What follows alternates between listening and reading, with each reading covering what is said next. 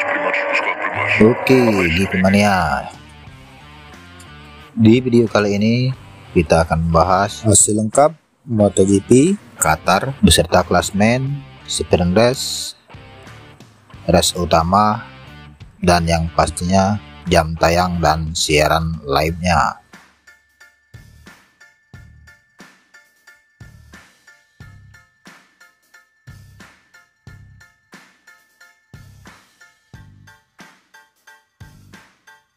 Berikut hasil lengkap yang bebas pertama Moto2.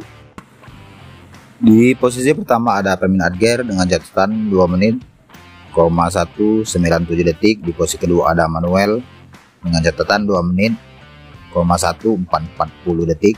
Di posisi ketiga ada Jack Dyson dengan catatan 2 menit, 1768 detik. Di posisi keempat ada Pedro Acosta, di posisi kelima ada Alex Inilah hasil selengkapnya.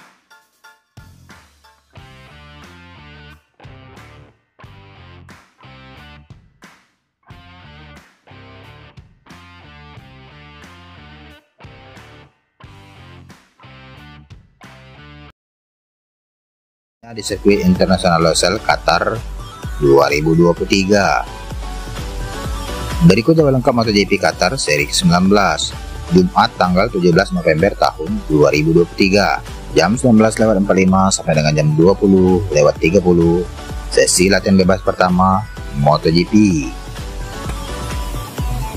Jam 00 sampai dengan jam 1.00 waktu Indonesia Barat sesi latihan bebas MotoGP. Berikut jadwal lengkap MotoGP Qatar seri ke-19 Sabtu tanggal 18 November tahun 2023 jam 19.00 sampai dengan jam 19.30 sesi latihan bebas kedua MotoGP. Jam 19.40 sampai dengan jam 19.55 sesi kualifikasi pertama MotoGP.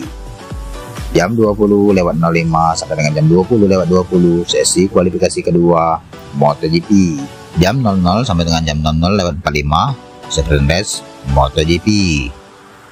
Berikut jadwal lengkap MotoGP Qatar seri 19 Minggu tanggal 19 November tahun 2023 Jam 19 lewat 40 sampai dengan 19 lewat 50 Panasan sebelum race utama MotoGP. Jam 00 sampai dengan jam 00 lewat 50 race atau balapan utama MotoGP. Berikut klasmen sementara MotoGP 2023 di posisi pertama ada Prasetyo Bagnaya dengan 412 poin. Di posisi kedua ada Jorge Martin dengan 398 poin. Di posisi ketiga ada Marco Bezzecchi dengan 323 poin. Di posisi keempat ada Brad Binder dengan 254 poin. Di posisi kelima ada Johan Zarco dengan 200 poin. Di posisi keenam ada Alex Pagaro dengan 198 poin. Di posisi ketujuh ada Maverick Vinales dengan 175 poin. Di posisi ke-8 ada Luca Marini dengan 171 poin. Di posisi ke-9 ada Fabio Quartararo dengan 156 poin.